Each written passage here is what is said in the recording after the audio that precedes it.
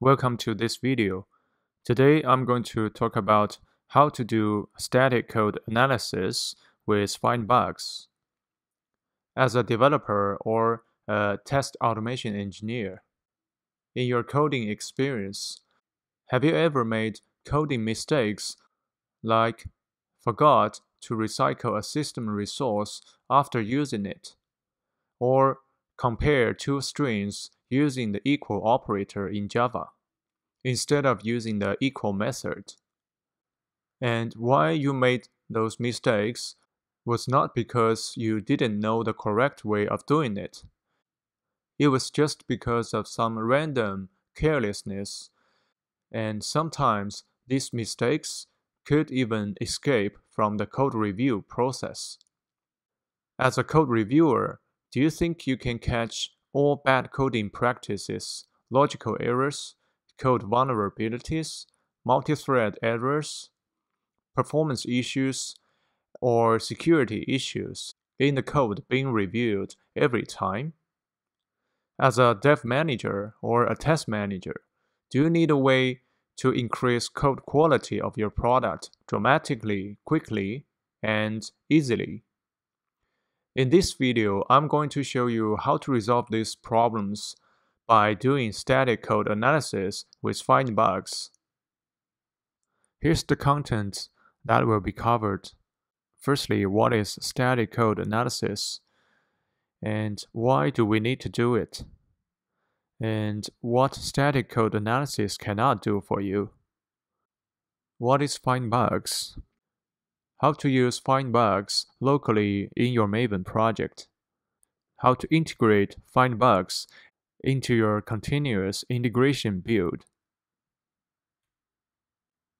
Firstly, static code analysis is to test the quality of your code through scanning your source code. Normally, it will be done by use a tool to do a scan on your source code. The tool will identify the potential bugs exist in your source code and finally generate a report on these bugs and where is these bugs found in your source code. Static code analysis doesn't require an application on under test to be started because it only need access to your source code and then do some scanning against those source code. So why do we need to do static code analysis? The primary reason I can see is the quality of your code review will be increased immediately. Why? Because the process of static code analysis is exactly the same as doing a code review by human. The only difference is the code reviewer is replaced by a robot. And the advantage of using a static code analysis tool to review your code is it can do a lot better than human in quickly finding code issues like bad coding practices, logical errors, code vulnerabilities, multi-thread errors, performance issues, and security issues. The second reason is it can save cost because it enables finding bugs in an earlier stage, rather than in later stages like integration test or system end-to-end test. There is a well-known theory in software testing. The earlier a bug is fixed, the lower the cost is required for fixing it. If you are not sure about this knowledge, you may refer to my another video, which quickly explains software testing basics. The video link can be found in the description of this video. What static code analysis cannot do for you? Obviously, it cannot test your business logic because your application under test hasn't been started yet when doing the static code analysis. Now I'm going to introduce a tool named FindBugs which is used to do static code analysis for Java source code. FindBugs provides three ways of using it. Firstly, it can be downloaded and installed, then use it locally in a standalone mode. It can also be used as a Maven plugin in your Maven project. It can also be integrated with CI tools like Jenkins and TeamCity. Now let me show you how to use FindBugs as a Maven plugin in your Maven project. Alright, I'm going to give you a demo on using FindBugs to do static code analysis on a Java Maven project and generate a HTML-based report for it. Now I have created an empty Maven project. I'm going to firstly add a report configuration for FindBugs to generate the report, like this.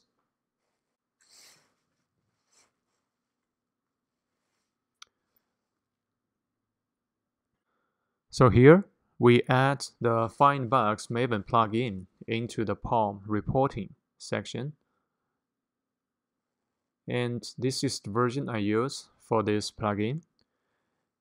And some configurations for FindBugs to use. The first one, effort. Setting the effort to max. It means ask FindBugs to find as many bugs as possible threshold is set to low, it means ask FindBugs to report all the bugs it found during the scan. Now let me add some Java source code for FindBugs to scan.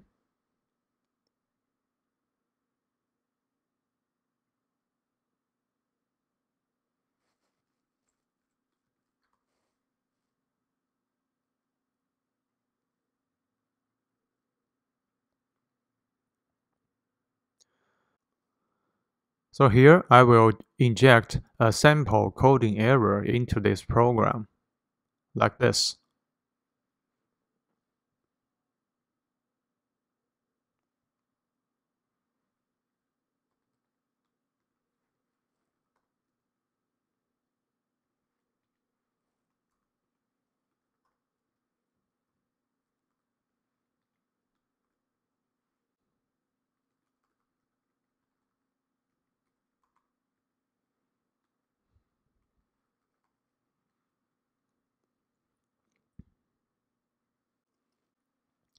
Okay, here is the error I injected.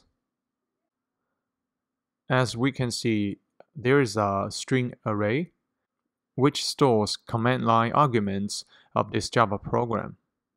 Here, I am doing some comparison of the first element of this array and the second element of this array with an equal operator, which is not correct.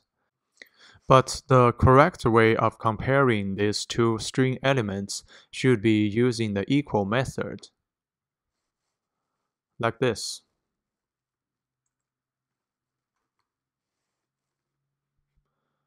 Right? Now if I use FindBugs to scan this source code, our expectation is FindBugs should be able to detect this error and show it in the report. Now let's test it. Okay, I'm inside my Maven project folder. Now I'm going to run a Maven command to do the static code analysis with FindBugs and generate a HTML-based report.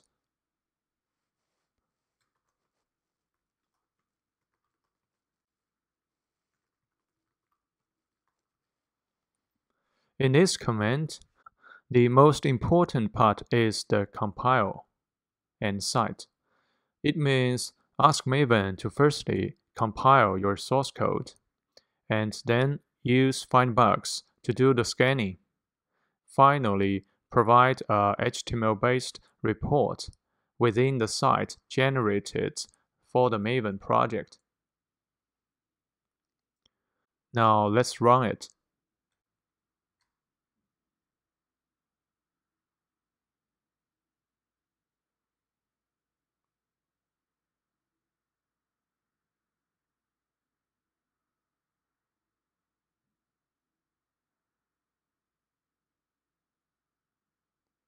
Okay, let's go to the project folder and view the HTML report.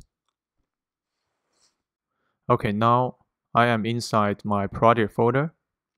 The HTML report generated by Findbugs can be found inside the target folder, the site, and findbugs.html. Let's open it. Okay, here is the bug report. So one bug was found. The bug detail is described here.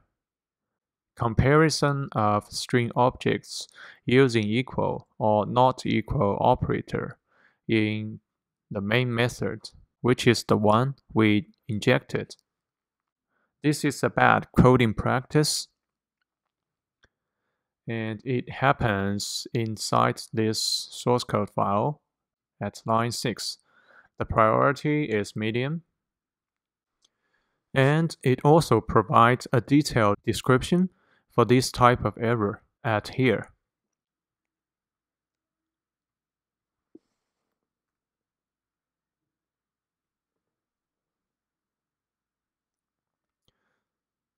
So it tells you more details about this error here. And give you some suggestion for fixing this bug like consider using the equal method. Okay we have seen how to use FindBugs to scan your source code locally and generate a HTML report locally. Now I'm going to give you a demo on how to make this Maven build fail if there is any bug detected by findbugs. To do that, instead of only generating a HTML report, but let the build pass. Now I'm going to remove the reporting plugin firstly.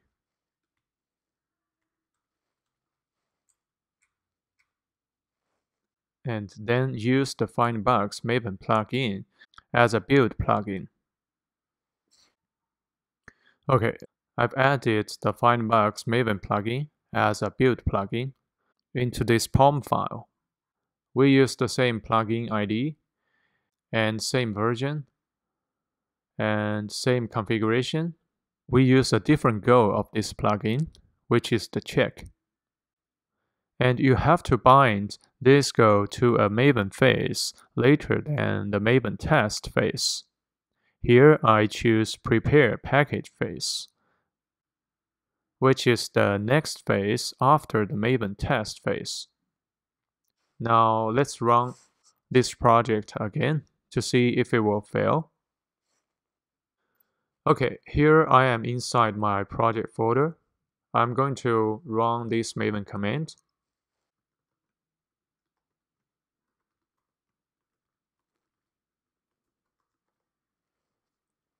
This command will enable Maven to firstly compile our source code and use findbugs to scan the compiled source code and fail the build if there is any bug found by the findbugs. Let's run it.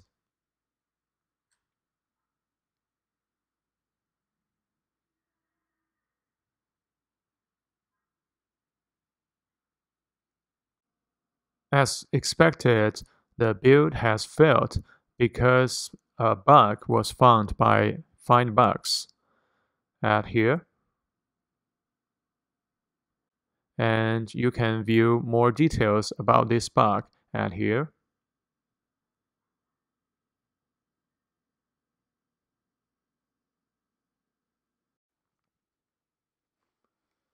Now I'm going to give you a final demo on how to integrate static code analysis with your CI build.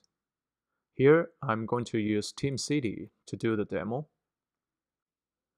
The objective of this demo is to enable TeamCity to detect the results generated by FindBugs and fail the TeamCity build if there is any bug detected by FindBugs.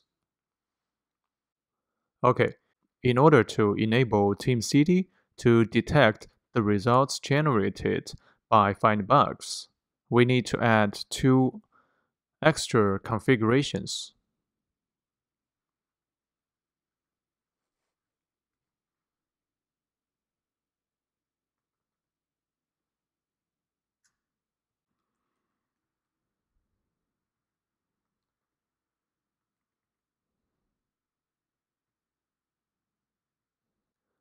The first configuration tells FindBugs to generate a XML file which contains the scan result. The second one tells FindBugs to put the XML file into a path. Here I set the path at this directory and a subdirectory, FindBugs. This directory is actually the target folder when you run the Maven build. Okay, I will commit this change and push it to my GitHub.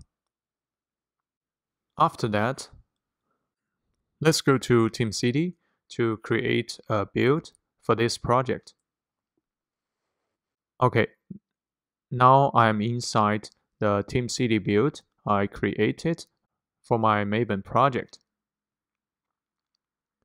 What you need to do is add a build feature by click on build features and click add build feature. Select the XML report processing.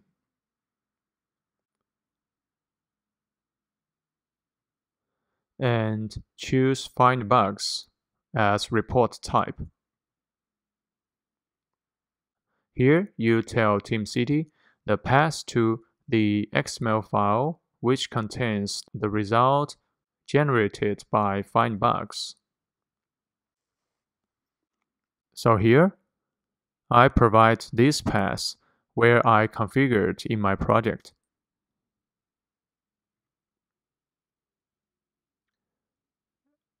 Finally, save it. Now let's run the build.